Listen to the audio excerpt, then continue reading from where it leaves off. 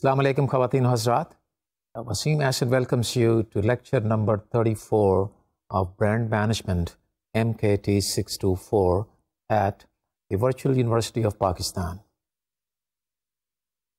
I was talking about the copy strategy in the previous lecture and uh, had covered topics like uh, what a copy strategy is, what is its importance, and uh, where it stems from, and where it leads us to, and the guiding principles that we need to have in order to develop a copy strategy, and uh, then the capabilities and the guidance that we need in order to assess that uh, a copy strategy is uh, just about the rightmost compatible strategy and fitting into the overall strategic framework that uh, the time ended. And uh, I'm going to pick up the threads from uh, where I left in the previous lecture. So let us um, develop an the understanding of uh, what a specific purpose a copy strategy uh, serves. I did talk about uh, the one or two points uh, which uh, fall in this uh, ambit. Uh, one being that um, a copy strategy provides continuity uh, to the company in, in its relations with uh, the ad agency and also within the company. The company can maintain consistency in terms of all the advertising efforts and uh, the plans and executions. In the absence of uh, the well-structured uh, the copy strategy, the chances are that we shall be wandering off and going stray here and there in terms of uh, all these strategic shifts.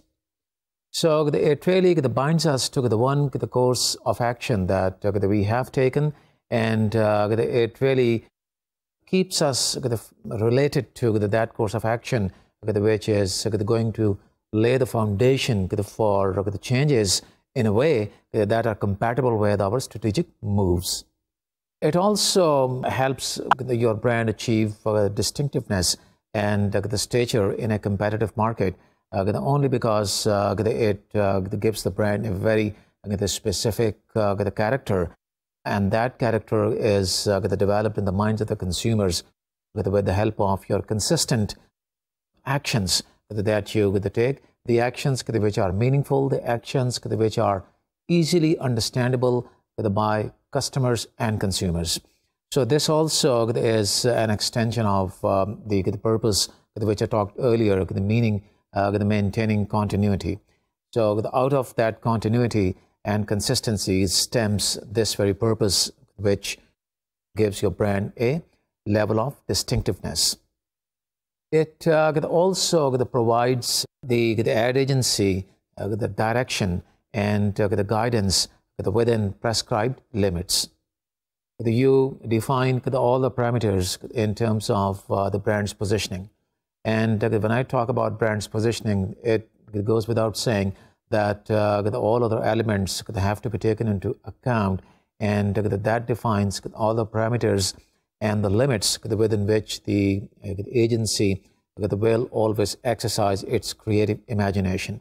If uh, you think that the agency is uh, transcending you know, those limits, and going into areas which um, are not really relevant to the brand or which are the ones which are to be tackled uh, somewhere down the line, uh, then you might as well like to, keep those as uh, those areas meant for the evolutionary process and um, like to deal with those the one by one as the time warrants and not immediately. So this is uh, another thing which uh, the good copy strategy does to you and a very specific purpose that it serves. You may look upon yourself as uh, the one of the architects of uh, the, the branding decisions and uh, the branding strategies. But um, the fact remains that um, in order for uh, consistency to take place in the company, it is of utmost importance that uh, the strategies are um, defined and um, laid down in a very well structured way. Because um, who knows whether you are going to be there or not.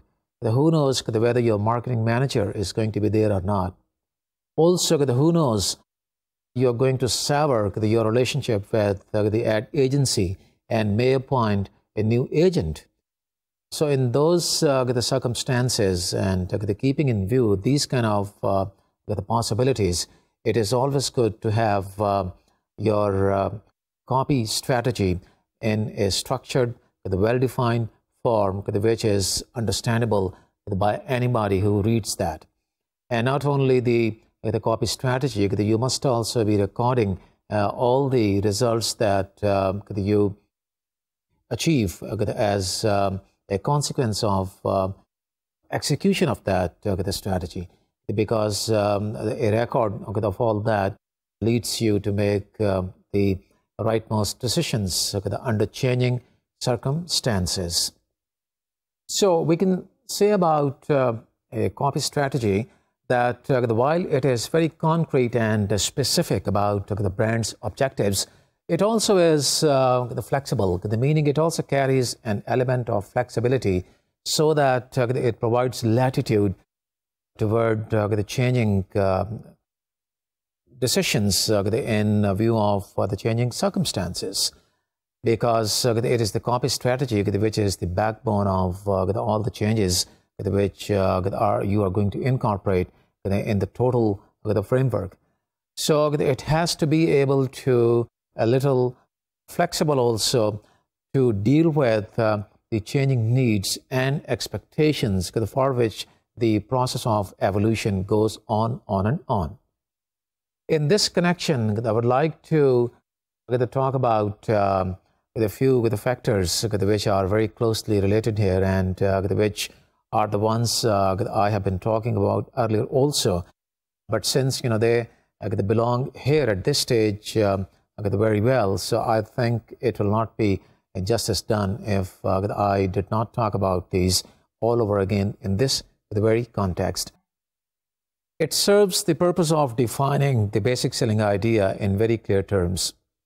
It makes sure that it is new and it makes sure that it is uh, a solution which is uh, being offered to a problem and it makes sure that um, the, the selling idea which the copy is um, talking about is thought provoking and uh, it causes consumers to think about your brand and then uh, adopting it uh, for a long time. So this is one of the basic purposes which uh, the copy strategy serves. It is only because of that. Now, this is not to say that if there was no copy strategy, that you know this purpose is not going to be served. What I'm saying is that uh, you've got to be very logical and consistent when you develop a copy strategy.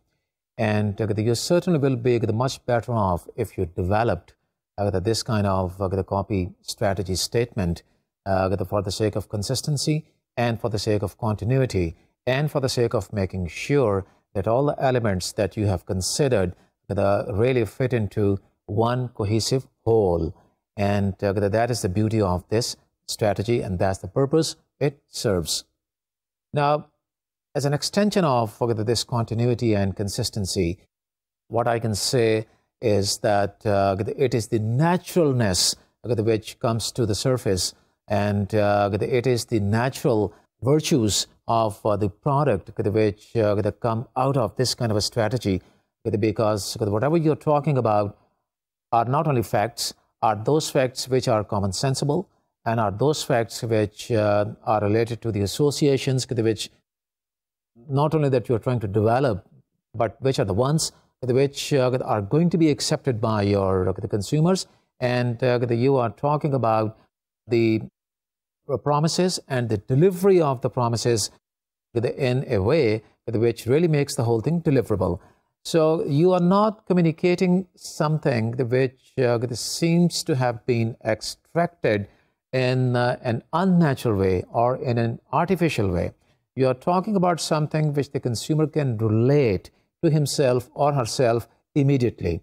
So that is the purpose which the copy strategy serves because it has come to the surface after taking into consideration so many different strategic elements and um, making sure nothing is unrelated, nothing is haphazard, nothing is ad hoc, Another um, the purpose which uh, the copy strategy serves is it makes sure that um, it appeals to the self-interest of the consumer, which essentially means uh, can the consumer associate the product with uh, some service to with him or her?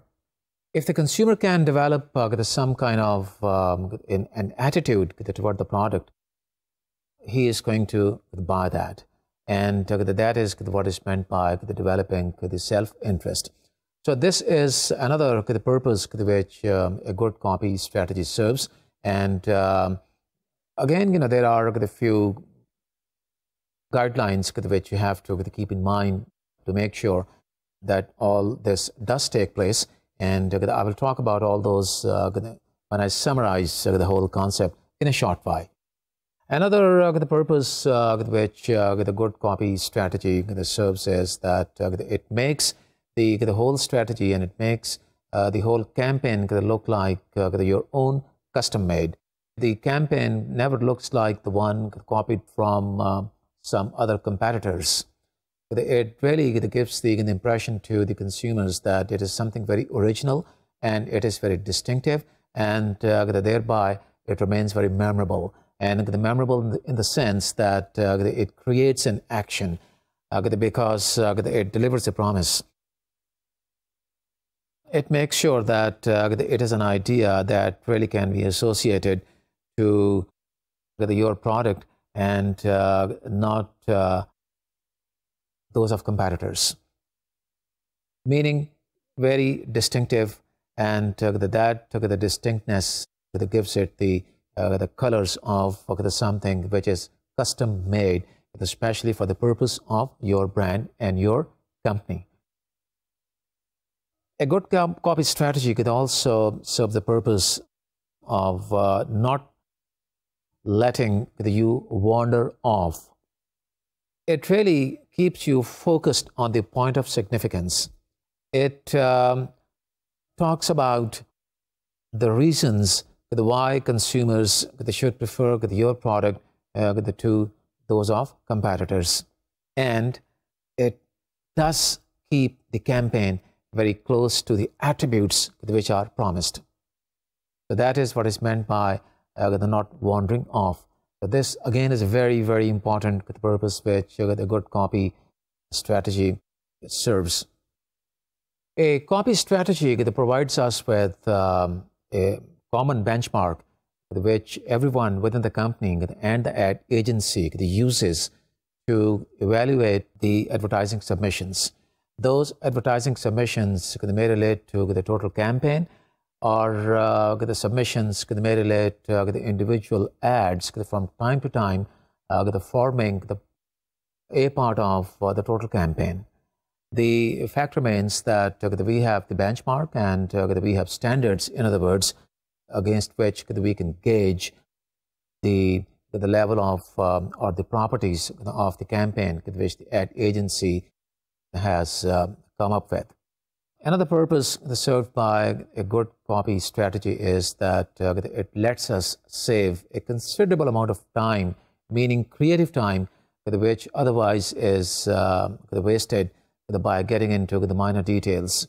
Now, this relates to something which I talked about earlier, what this means is that uh, through a copy strategy statement, we are in a position to make decisions on uh, the basic uh, the copy matters. And the once we have those the basic copy decisions, review them every time we are working at um, an individual piece of advertising that may form a total campaign. So much for the, purposes that uh, a copy strategy serves. And uh, after having developed an understanding of uh, what a copy strategy is, what are the fundamental drivers that let us craft this strategy, and what are the considerations and whose responsibility it is to develop it, and whose responsibility is it to see to it that it is very effective. Let me now summarize the whole concept by talking about the, the fundamental considerations which are the backbone of a good copy strategy. Now, this summary is uh, going to be very simple, but nevertheless very important. Number one point which we must keep in our mind all the time while we are dealing with uh, copy strategy, that our communication has got to be simple. This is what we have learned. number two is that uh, this communication again has got to portray the real character of the product. And uh, number three consideration is that uh, it has to be interesting enough for the reader and for the viewer.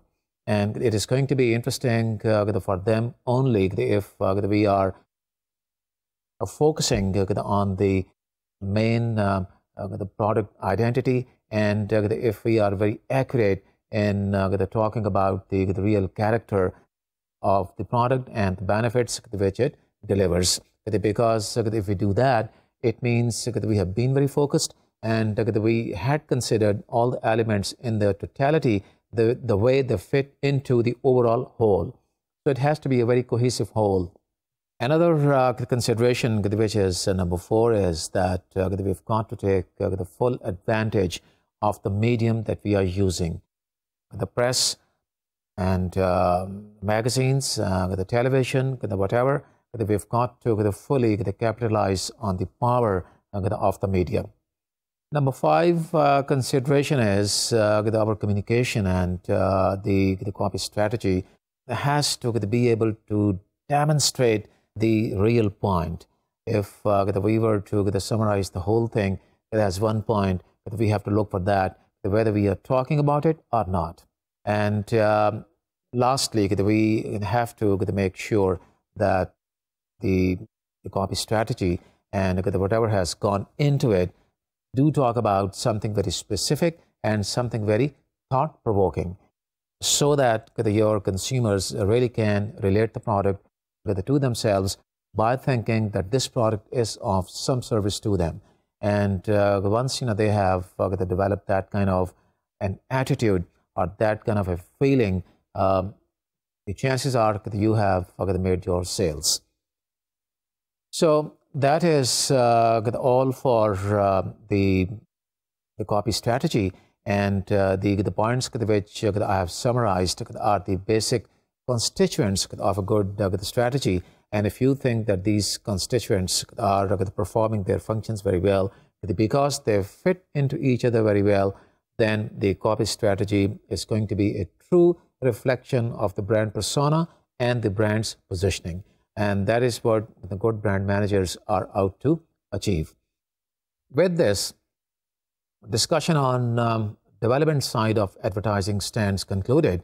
And uh, we have seen very comprehensively that uh, it deals with uh, the brand persona and brand's positioning. I pointed out in the beginning of this uh, discussion that um, advertising deals with the, the two different steps or phases. The one is the developmental side, and that's what I've talked about. Let us now move on to the other side, which is the, the executional side.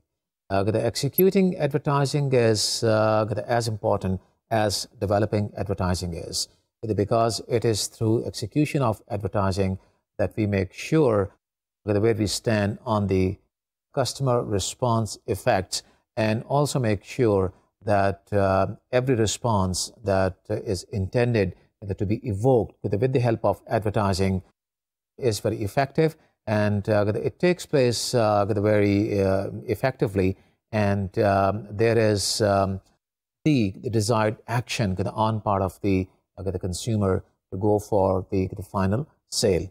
So executing advertising uh, deals with the target market reach, the media selection, media coverage, message frequency, and uh, the ad content or copy, which uh, I just talked about earlier.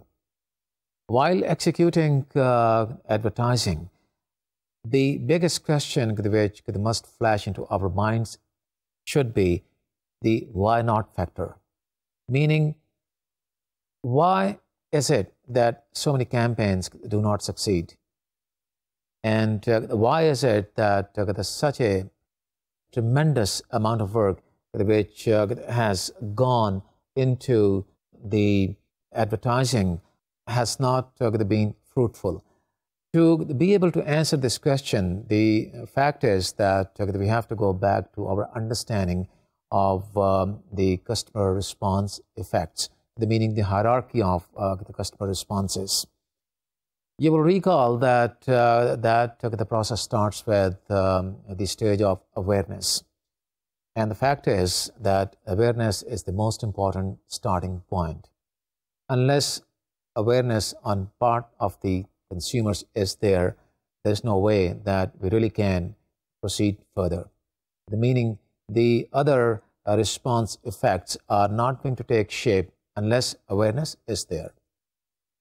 Let me explain uh, this concept with uh, the different kind of um, an illustration and uh, you will see that this definitely relates with the one which uh, was uh, exhibited in uh, one of the earlier lectures but nevertheless this is the one which really demonstrates a very close relationship between the first effect, which is awareness, and the last effect, which is action. We certainly have um, effects in between, and the effects of the comprehension, retention, uh, no question. But uh, this illustration basically develops the relationship between awareness and action. Now, if you take a look at this, you will see that um, at every stage of uh, the response effects, we are showing two different bars. The one is dark blue and the other is light blue. And uh, you can see the successive stages and uh, with every successive stage, the, the, bars kind of recede, meaning they decline. And uh, the reason is that you have to have a, a high level of awareness, or in other words, the highest level that you see is at the stage of awareness, and the lowest level that you witness is at the stage of purchase, which is the final action. So this is a conclusion that uh, when we start with the, the first the stage of effects, and which is awareness, it is at the highest level. And the moment we go up the hierarchy, you will see a reduction of those effects in relation to those particular phases. The meaning uh, awareness has got to be the highest and comprehension, which is the next step, has to be lower than that, and intention, which is the next one, mm, lower than that, and uh, the purchase or the action has to be the lowest. So this is the one conclusion which we can very easily draw from this illustration. Now, if you take a look at this um, in an inverse fashion, the meaning if we go back from the, the purchase stage back to the awareness stage, it means that in order to have a higher level of purchase, we have to increase the level of awareness. And we can also conclude that uh, in order to increase the level of purchase, we not only have to increase the level of awareness, but the level of awareness has also got to increase uh, in a bigger proportion because the level of awareness is eventually going to recede. To rephrase the whole thing, let me put it in very simple words, and that is in order to have a certain level of purchase, we have to have a level of awareness which is higher than that. If you want to increase the level of purchase by say 5 units.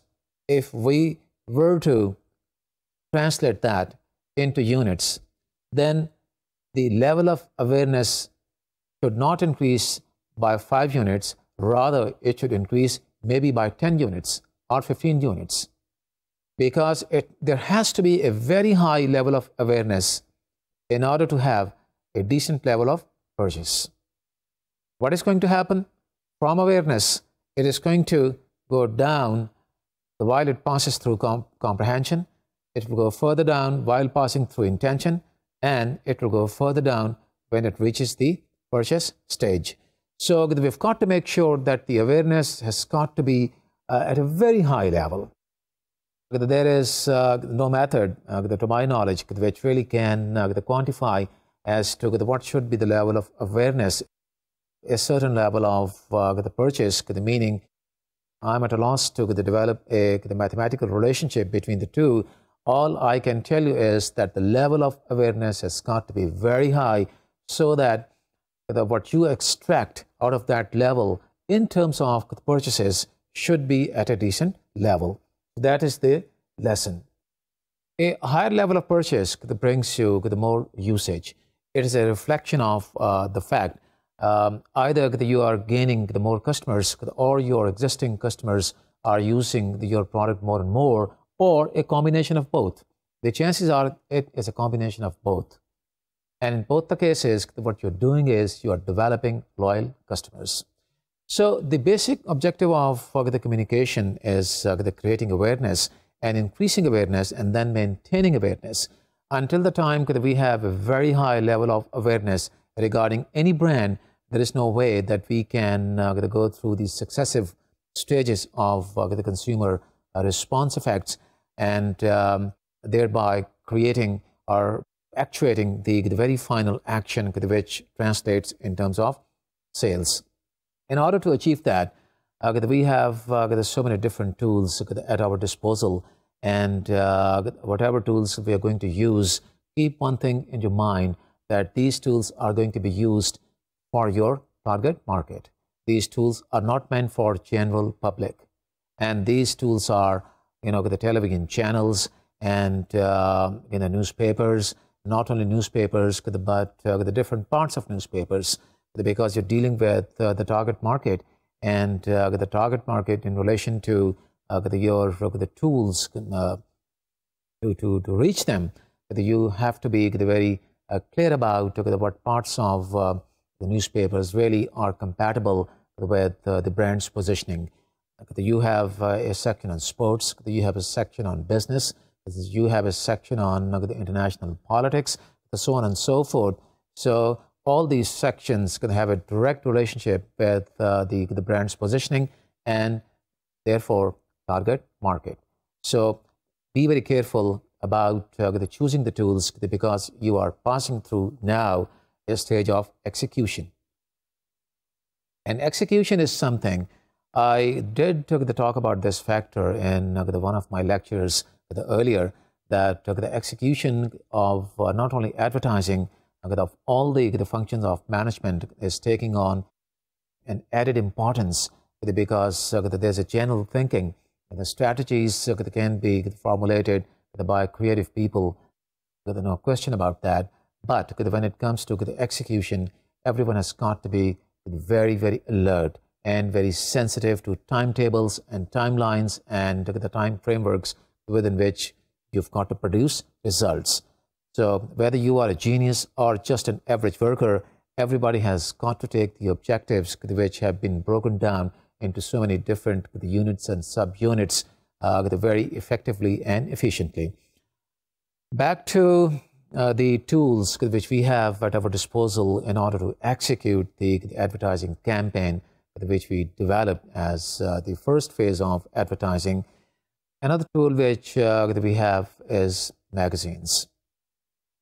And when it comes to magazines, again, you've got to be very careful about which part of the magazine you place your ad into. I know there are so many cost constraints. You know, anybody would like to go on the cover, the back cover, for example. If not that, inside of the back cover or inside of the front cover. The question is, do we have the resources to afford that? Um, and we've got to be able to answer all those questions and uh, then look for answers which are best suited in light of our circumstances. You must look at uh, the radio, not only you know the radio as a medium, but uh, the timings your target market are uh, fond of, because they know what program is being aired at what time and uh, with um, the growth of the quality radio stations in our country, this the medium really has taken on an added importance. And uh, starting with the youngsters, uh, right up to those segments which could be very serious in terms of their uh, habits and uh, socio-cultural values, you really can pick up a good program well suited to the, your target market. You must also be mindful of uh, the one fact how your target customers travel and commute to the, the place of work. While they go to the place of work, what kinds of uh, the channels they tune to and uh, what kinds of um, the advertising they get exposed to. For example, if they, travel by the bus, you have advertising inside of the buses or you have advertising outside of the buses. Whether they travel by buses or motorbikes or motor cars is not really material. What is material is the kind of media they get exposed to on the way to work and then back home. Hoardings, advertising on buses, and there's so many different forms of uh, advertising that, that manifest themselves in the outside environment. You've got to be mindful of that. Another factor which you have to take into consideration is your target market hooked on to the internet. If they really are into surfing, uh, then you've got to be careful and mindful of that uh, because uh, that might help you if you are uh, doing something in relation to uh, direct marketing, for example. The question uh, here is uh, all of the factors and all of the tools that you have at your disposal, you have to choose a mix of all those in the most optimal way, given your resources and the, given the kind of punch which is your objective.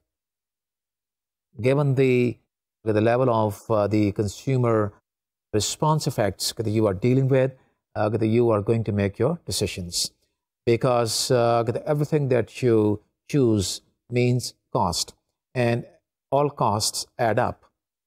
If you end up with uh, the mixed bag, which is not affordable, then it is no good.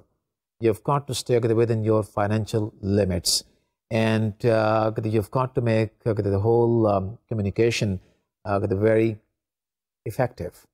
And therefore, the advertising while um, it is being uh, considered for execution, it has got to be given special attention because, uh, like I said, it is uh, the most visible, uh, the most dynamic, and uh, it is something which really emotionalizes uh, the facts, and those facts gets, get, get translated into actions.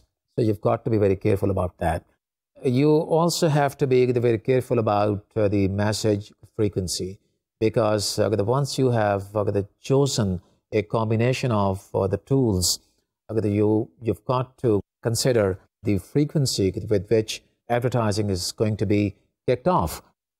If it is radio, how many spots a day, or how many spots within one hour, and in what time. If it is uh, television commercial, um, how many spots again if it is um, print media, how many insertions, uh, which papers, which magazines, and uh, all these details. The important thing to consider here is that uh, the frequency matters a lot. If, you know, because of uh, paucity of funds, we think that we should be distributing our campaign in a way that uh, we cover the most parts of the year, maybe it is uh, not a good decision. I said maybe. And uh, if we decide to concentrate our advertising, the frequency in a way that we end up talking about the whole campaign within just about a couple of months or a few months, maybe it will work better. So it is here that you have to decide, given your circumstances, whether you would like to go for something in a concentrated or you would like to go for something with a frequented. The basic principle that we have to keep in mind, especially in relation to consumer items, that uh, there has to be a base frequency uh, which allows us to keep talking with, uh, with our target market around the year. If it is not possible, given our financial circumstances, that's something else, but preferably we should try to do that. And uh, then make decisions when to concentrate our communication because if you're dealing with a seasonal item, for example, which sells uh, very well during the month of Ramadan, you have to start communicating about that before the month sets in.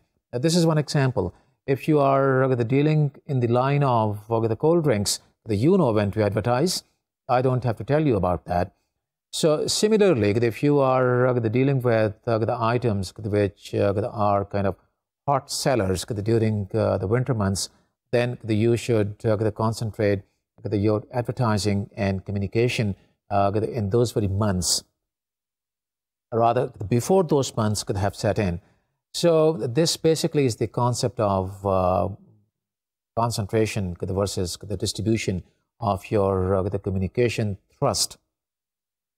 The fact is that uh, the strong brands keep talking around the year, regardless of seasonality and regardless of uh, the low months and the high months. Those are the brands which are very strong and which are very powerful.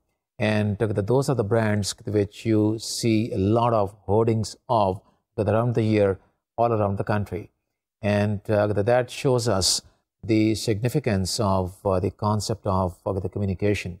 You've got to be there out in the field, in the market, talking with your target market in one way or the other, just to be in their minds. Otherwise, they're going to forget you. That's a very important lesson. The next um, question which should uh, come into our minds is uh, how to make sure that the copy that uh, we have put together is really going to be effective when it goes into the execution stage. We have talked quite a bit about the awareness and comprehension, and awareness and comprehension were really taken into consideration while we developed our advertising.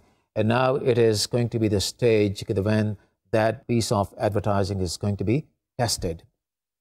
One approach is to test the copy of advertising before running it nationwide.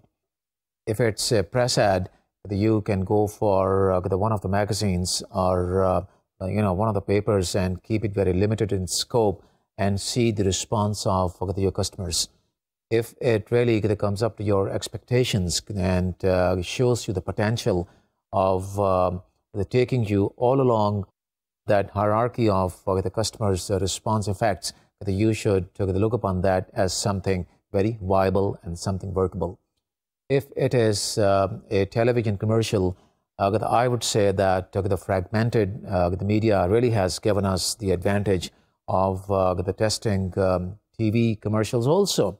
That this was not the case like uh, 10 to 15 years ago, and uh, you had to go for uh, the national uh, network, and whether it worked or not worked, there was a question of your fate. With the fragmentation of the media, this is a tremendous opportunity for people like us to test our TV commercial. They go to one of the channels and test it there, see the customer's response, and they make the final decision. The chances are if uh, you had made uh, the television commercial based on all the considerations which I talked about in the, the previous lecture relating the copy strategy, then um, it will be okay. But you never know that something may go wrong. And even if something is not wrong, you may like to bring about certain improvements. And uh, you may get some very interesting and fascinating kind of uh, observations from your uh, the customers, which you may not have taken into consideration while you made it. So wait until you get uh, the results of that test and uh, then go nationwide and kick off your campaign. It is uh, needless to say that um, any the copy which is uh, really based on uh, uh, needs of the customers is going to help you in the marketplace. And um, with that, we are now going to talk about how to reinforce the message. We have talked about um, the different tools that we have at our disposal, and uh, we have talked about uh, the testing the copy, which uh, is in place. And uh, let us now talk about the need about uh, how much to reinforce the message and uh, how frequently to reinforce that. That's what it really means. This is uh, a hard fact of uh, the communication that uh, the message of communication has got to be continuous, it's got to be repetitive, and it has got to be reinforcing. Building awareness, comprehension and intention will bring in a good customer response. No question about that. But it will diminish in its effect if we stop talking with the customers. You will recall the examples, uh, you know, of uh, the cars and sunglasses and uh, the printers, which I talked about in the previous lecture. And uh, we analyzed how important it is to look into each and every the phase of the response effects and uh, then reinforce our message in relation to that particular phase. So that says it all in terms of uh, the reinforcing the message and uh, the maintaining uh, a high level of awareness. What you really have to consider is uh, what is the what could be the least expensive tool of uh, the reinforcing the message. You may have spent a lot of money when you kicked off your campaign, but when it comes to repeating it and reinforcing it, you can do a lot many different things. You can bring about a change in the mix of uh, your tools, and you also can do something with your uh, the TV, the commercials. You can go for what they call adaptations instead of showing uh, the complete uh, commercial, you can show relevant portions in a very brief form, reminding the, the customer of your presence. So reinforcement is um, of um, utmost importance because uh, it um, keeps the level of awareness and comprehension alive. And if these two the levels are alive, then the chances are the customers are going to retain that information. And uh, based on that retention, there will be action. Another consideration that you must take into account while you go through this process of uh, reinforcement is what marketing people call a copy wear out. When you talk about something repetitively and over and over again, that thing loses its originality and charm. So what I'm saying is uh, that at that stage, that you've got to bring about certain change in the copy of uh, your strategy. It doesn't mean, and it must not mean, that you change the strategy. You keep the strategy the same. If you think customers are getting kind of bored, then you must change those tactics, and you must bring about some, you know, level of change in the copy strategy. And uh, here I would like to take you back to my lecture on uh, responsibilities of uh, the ad agency. You will recall that I talked about um, the need for the ad agency to bring you uh, a few alternatives because uh, among those alternatives, you're going to keep some for uh, the future in, in relation to innovations, in relation to this kind of a scenario where you seem to be running into a copy wear out scenario. So that's a consideration which has to be kept in mind, a very important one. So much for uh, advertising as uh, a tool of uh, communication. And that takes us to the next one, which is promotions. Promotions are the ones which really stimulate action on part of customers. No matter how good is the copy and uh, the response effects like awareness and comprehension, it may still uh, not actuate the customer to take the final action and buy your brand.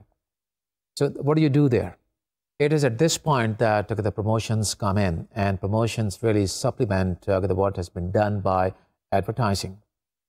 If uh, the role of advertising is to create the pull and advertising seems to be creating that pull, then uh, the role of uh, promotions is to create the push uh, Uh, so that uh, the customers and I mean the consumers could really feel pushed uh, to go to the product and buy that.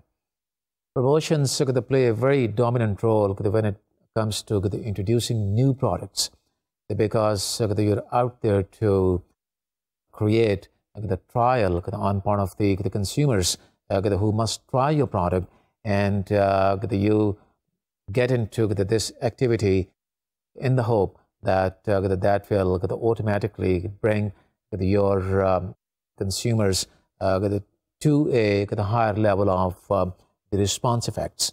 uh, do not forget that the advertising is there and it is already working and playing its role. Now you have your promotions working on the other end, and these two coming together are maintaining a balance between that pull and push. So the role of promotions from that point of view cannot be overemphasized. It has to be there in order to make sure that um, a push is created and um, a trial is generated so that uh, the consumer knows what the product is all about and uh, if the product really is worth its salt and uh, it carries all the promises and uh, delivers those, then the consumer who has tried the product is um, going to come back.